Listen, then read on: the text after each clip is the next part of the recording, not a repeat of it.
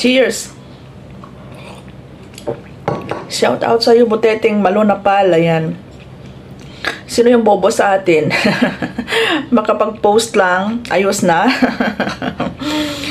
Nanood ka ba or nakinig ka ba talaga or inintindi mo talaga ba yung content ko kagabi?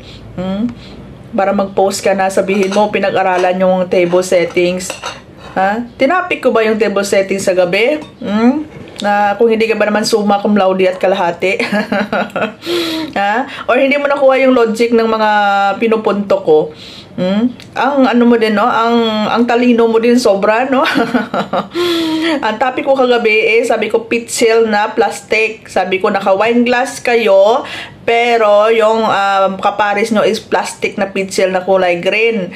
Wala akong tinapik ng table settings. At huwag mong ipagmalaki ang pinag um, pinag-aralan mo sa TESDA Mm. Huwag mong pag-aralan. hindi, hindi lahat ng ano, hindi lahat ng mga OFW kasi bobo mo.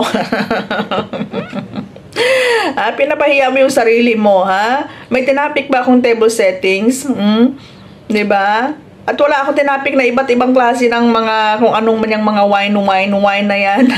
Sabi ko naka wine glass. Ha? Sabi ko naka wine glass. Pero yung kaparis niya is pitsil na green. Na sa amin is nilalagyan lang tuba yan. Pinagmamalaki ng lola banang mo yung mansion niya. Mm? Pero tingnan mo yung mga gamit niya. Mga plastic wares. Kasi plastic niyong lahat. ba? Diba? O bob ka din eh. Makapag-comment ka lang wagas. Tingnan mo nga yung mga pinagsasabi mo niyan, mga post mo. Mm? Logic, logic din pag may time, malo na pala, wag mong araw-arawin yung pagkabobo mo. Kung hindi mo ko kayang iribat, tumahimik ka.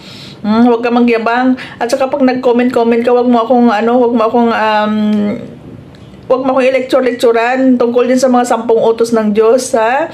Asam, tungkol pala din sa mga salita ng Diyos. Huwag mo idama yung uh, Diyos dito.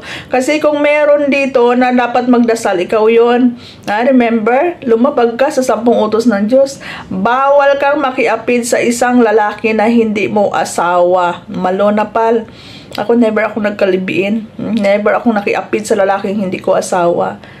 So, kaya mag, ano ah, pag nag-post ka, ayusin mo. Kung hindi mo ko kayang iribat, tumahimik ka ng botete na malonapal ka. Ayan.